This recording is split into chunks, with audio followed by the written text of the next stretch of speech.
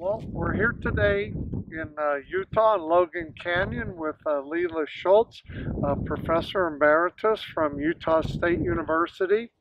And Leila was the curator at the Intermountain Herbarium for 20 years and also a member of the editorial committee for the Flora of North America, which she just retired off of.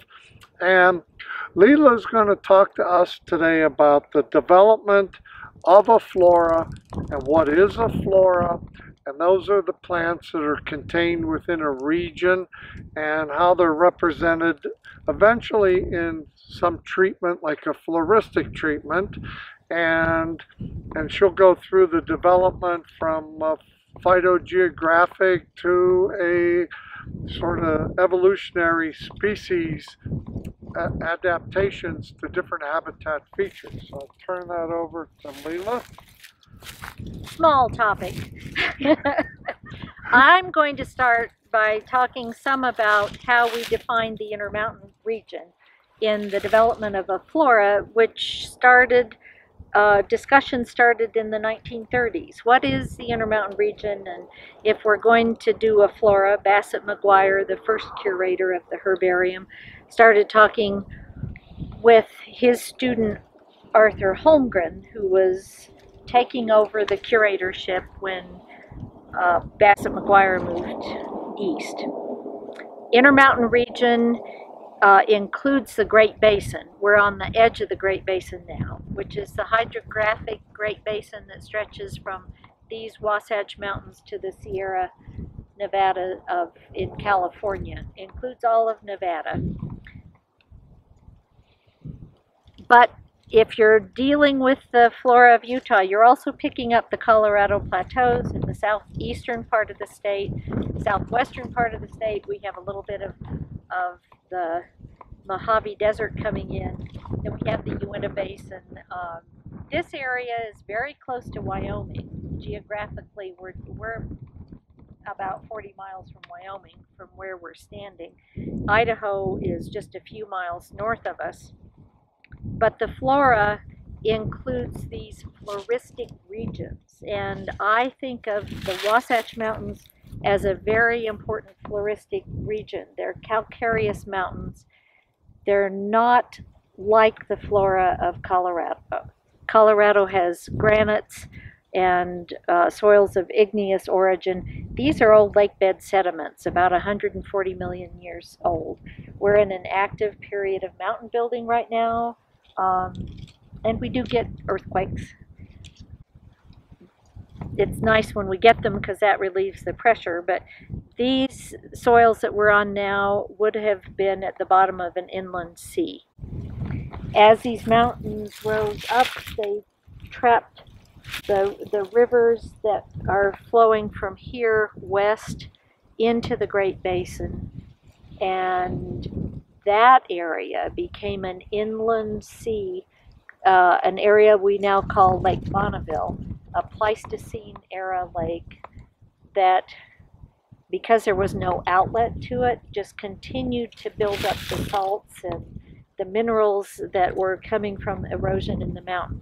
So that's where we get the famous salt flats west of Salt Lake City, uh, the halophytes, the a lot of the shad scale, the things in the Chenopodiaceae family that includes weeds like Russian thistle, and then we have we have our shad scale and our salt bushes and our pickle weeds and all kinds of things that grow in those salty soils. Here we're above that salt accumulation. We're above the the upper level of Lake Bonneville. But Lake Bonneville was here until about 15,000 years ago, and at that time, the subalpine forest that starts just a little above us, you might, you're seeing some Douglas fir and there's uh, subalpine fir and Engelmann spruce. Those subalpine species were at the edge of the lake. We know that from pack rat middens and other evidence. Where are the uh, subalpine firs and whatnot were down near the edge of Lake Bonneville. Uh, colder climatic conditions. It was colder and wetter. Okay. Yeah. colder and wetter. So we've had this, you know, I call it gradual d- drying, but it's actually a pretty rapid drying in just the last 10,000 years. Nothing like the rapidity that we're experiencing in the last 100 years. I mean, our accelerated warming of soils, daytime temperatures is, is quite dramatic. And because of that, we're seeing more weeds coming in. And then the halophytes, which you mentioned. um, Is it a combination of both regional western species and then on top of that, sort of regional endemics of halophytes? We don't have an interesting question. We don't have many endemics in the in the halophytes. Uh, we do have a lot of things that have come from Eurasia. In fact, I was in the field with this well-known Russian botanist Armen Takhtajan, and in those salt flats, he would point to these things that looked familiar to him. He's from Ar- was from Armenia, and he'd say, "Noshweed or Voshweed? Is that your weed or our weed?" Oh. So we had this ongoing conversation. That's your weed, not our weed.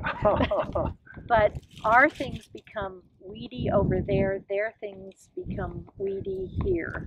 They're pre adapted to salty soils. We don't get halophytes. We don't have the salts in the soil. But uh, the Great Basin is particularly vulnerable to things like Russian thistle that have just spread throughout in every habitat they can occupy. Uh, the salsolas, And, you know, I just don't, I'd like to point out that, the halophytes, many of them are on the wetland plant but not all of them. There is a much, their occurrence is, is where you find them is, has a lot to do with the salt as much as the water. And so we have a little confusion in our wetland ratings with Mhm. halophytes, and we're trying to work out how we can uh, improve those. Uh, because you do get halophytes all the way up on dry slopes, as long Mhm, as they're mhm. salty soils. Right, right. The greasewood is a good example of that. And and the four-wing saltbush Yeah. shad scale Mhm. moves into very And dry both areas. of those are rated as wetland uh, shrubs. Interesting. Yeah. Interesting. The salicornias you expect, uh, the pickle weeds, those are definitely where the soils are saturated. But it's it's a gradient. Right, right. And then when you get here into Logan Canyon, you have a whole different sort of uh, evolution of the flora with uh, not only these more common broad habitat types across this part of the Intermountain flora with the forest, uh, but you have the series of endemics in the canyon here. Yes, yeah, yeah. Nice to have you mention that. We've got about a dozen species that are found in Logan Canyon. Um, a couple of those moved to the canyons north and south, but we Can have I a ask you what an endemic is? oh, an endemic is a species that uh, is particular to a certain area, uh, and we talk a lot in Utah about soil endemism, species that only grow on a particular formation. And in this canyon, we have a lot of Laketown dolomite, which is a magnesium carbonate. It outcrops in other areas north and south, but it's a combination of elevation, soil type, something about the aspect here, the drainage, and perhaps a little more humidity because we have the Logan River that flows year round. Um, creates a special habitat, and these are things that don't grow other places. Some things we think have evolved in place fairly recently, but others seem to be trapped from the era when we had glaciers and a colder climate. We think primrose, for instance. We have a endemic primrose called Primula maguirei. We think that was more widespread at one time, and is only in Logan now. It's our only federally listed endemic species, but Utah And would that go back to earlier when I asked about subalpine fir being down at a lower elevation? And you said it was a colder, wetter climate. Would that primrose, that habitat would have been more common under a colder climate, much like the canyon is, as you mentioned. Humidity is a little bit greater, so right, its habitat would have been more extensive. right. We assume so. There's a close relative of the primrose that occurs in Idaho, another separate species, but very similar morphologically, that is in uh, western Utah, and then another one on the Nevada border, the Prim- Primula nevadensis is in Great Basin National Park. So because we have these distributions in different places, we're assuming it was more widespread. And also because of the genetic work that's been done, we know that there's a lot of heterogeneity in the primrose population here. But it's very rare. All right, so we're in the canyon. We have, uh, I think you mentioned uh, about a dozen endemics. But when you look across the landscape, you see sorting that's going on on these hillsides of these much more common habitats or communities, I would say. Yes, uh, yeah, we've got a very widespread stand of aspen interspersed with Douglas fir, and in these very narrow spires, we're we're right at the upper montane zone here, moving into a subalpine zone where we have Engelmann spruce and subalpine fir. But we get a sorting. It's not so clear here, but we will see places in the canyon where the north face, the distinction between north facing and south facing slope is just really dramatic. Uh, open south facing drier slopes, uh, because of the solar exposure, will have juniper and open shrubland with a lot of sagebrush, and the north facing slopes will have Douglas fir. We're facing uh, pretty much north here. Yeah, we're, as you know, in the east, you don't get the sorting.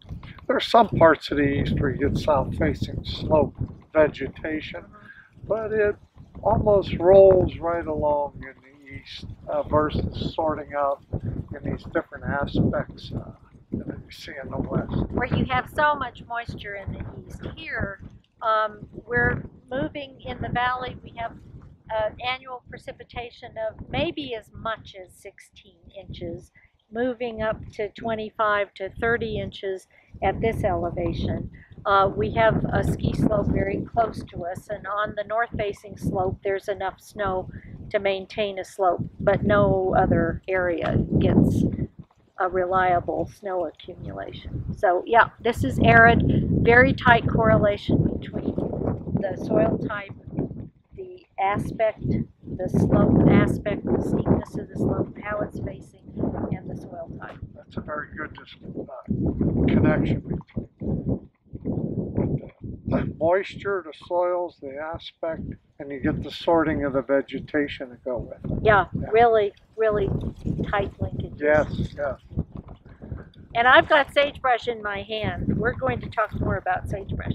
This is a, a Uh, we should mention that Leila has a thing for Uh, sagebrush. yeah, yeah. I call it my love-hate relationship, but it's it's uh, people kept the the range people kept bringing plants in saying what sagebrush is it, and I'd say well it's just part of that Artemisia tridentata complex. It turns out the subspecies are important.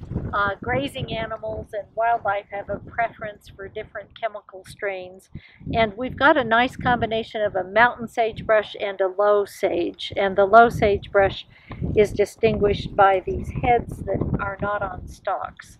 They're sessile. See how different that is? You'd look at that and say, oh my gosh, anyone would know that's a different species.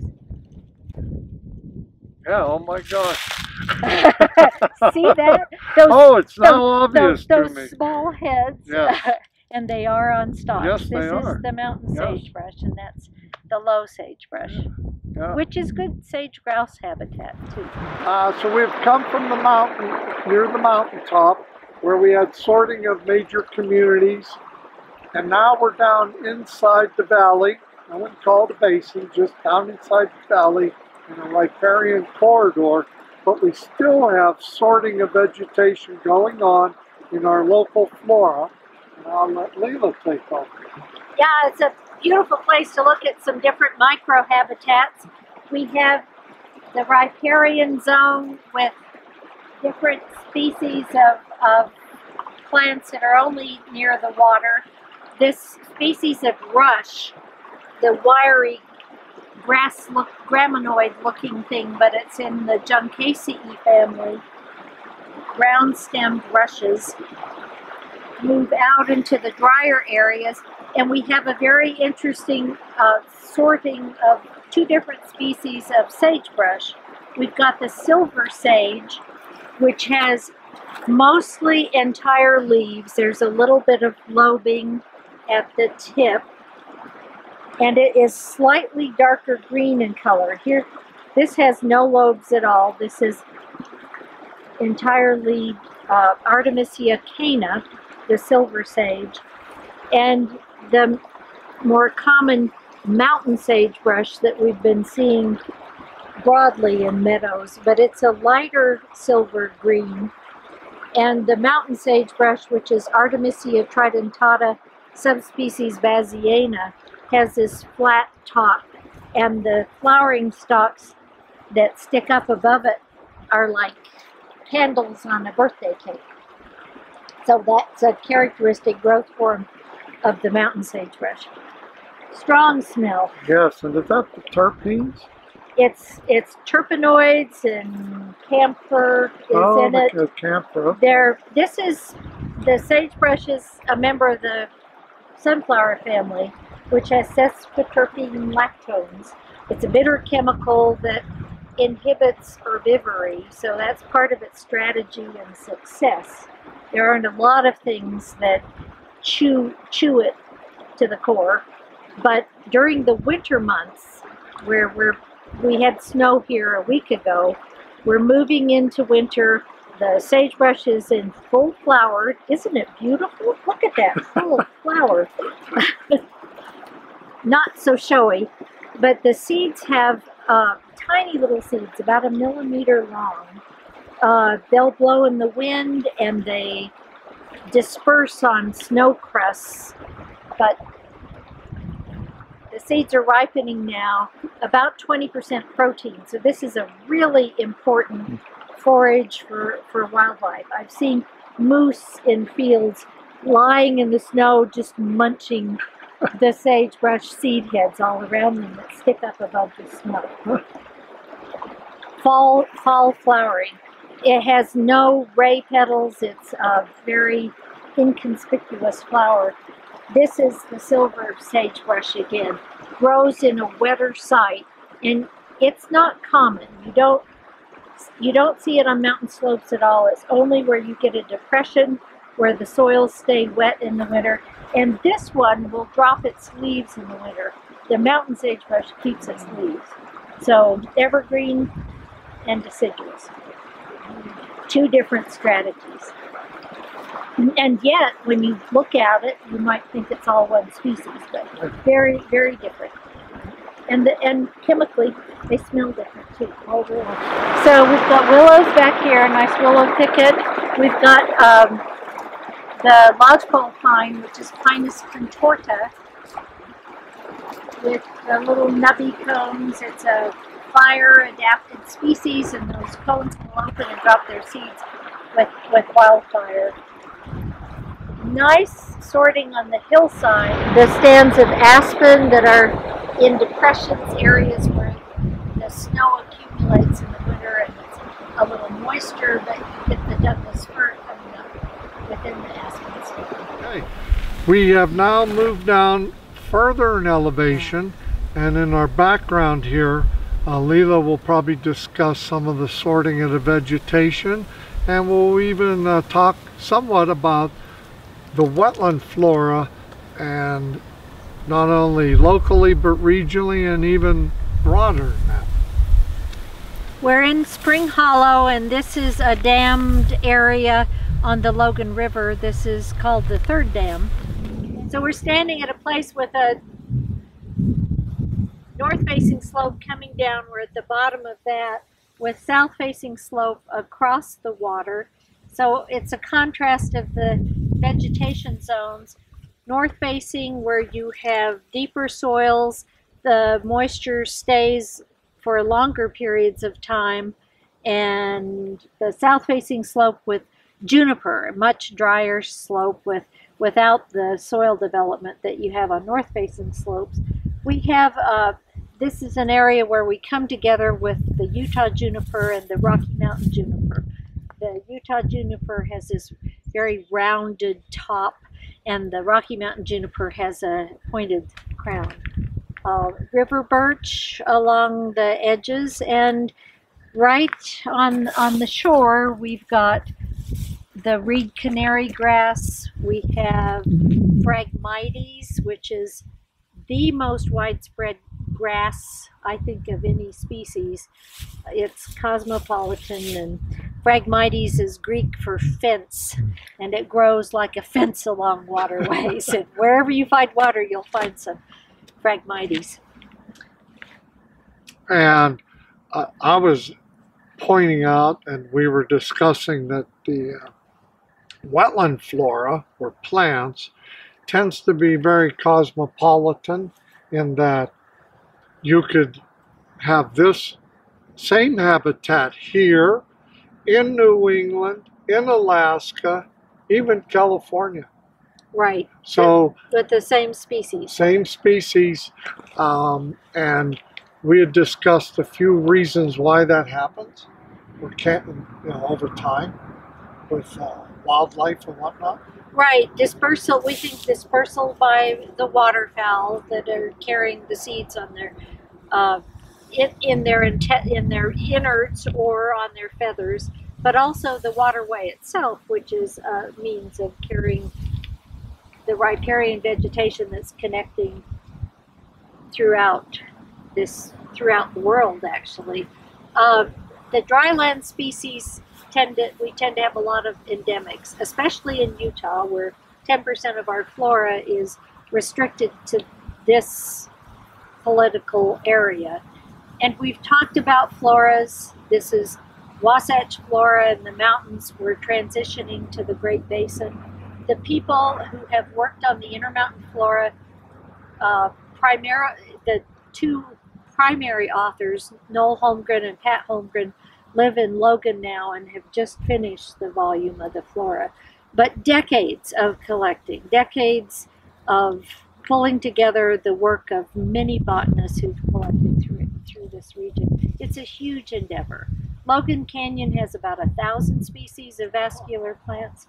Intermountain region has 5,000 in terms oh, of endemism. This this is just one of the hot spots in North America. Yeah and with continued new species being described. That's true. I, I heard I've this rumor just, today. I've just had the paper accepted describing uh, species of parsley, uh, Musineon, in the carrot or parsley family on Mount Naomi, and it's Musineon naomiensis. So we think a common name of uh, Naomi parsley will work nicely. Right. Yeah. But yeah, yeah. And again, those endemics are a result of the geology, somewhat the phytogeography, the isolation, the genetics, the harshness, many times the harshness of exactly, the habitat. Exactly. And I liked earlier when you pointed out without the aridity, the vegetation in the west would not sort so plainly. Right it's it's the genetic isolation that we have. We have isolation by mountain ranges, isolation by soil type, without the opportunity for these, without the corridors for migration and for these species to intermingle. Right. Yeah. If we swing around and you get one last view of the other end of this water containment, the maple is big tooth maple, which is Acer grandidentatum, a close relative of the sugar maple. It was treated as a just a variety of sugar maple at one point, um, but it's just found here. And we do not have oaks in this area. Uh, cold, um, the cold weather seems to limit the distribution of oaks. You'd think they're very cold hardy, but in combination with our alkaline soils and very fine grained soils, the physiological drought that we get from clay soils, I think, is part of the reason for the limit to distribution of oaks. They come as far north as an area about 20 miles south of here. None in the canyon. Pretty interesting.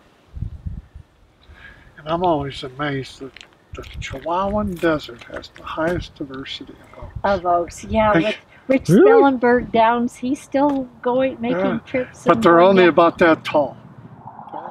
Leila, I would like to thank you very much for helping us out on this and explaining part of the world you love and know very well. And I learned today that camphor is what makes that sagebrush smell so good. Besides you, that made the trip. It was worth coming to learn that. it was lovely being in the canyon with you and this time of year, and I hope I hope the information is helpful in a larger sense in terms of putting floras in context Right. and understanding a bit about what defines Yes. an area, a floristic region. Thank Not you. just a list. That's right. It's not just a species list.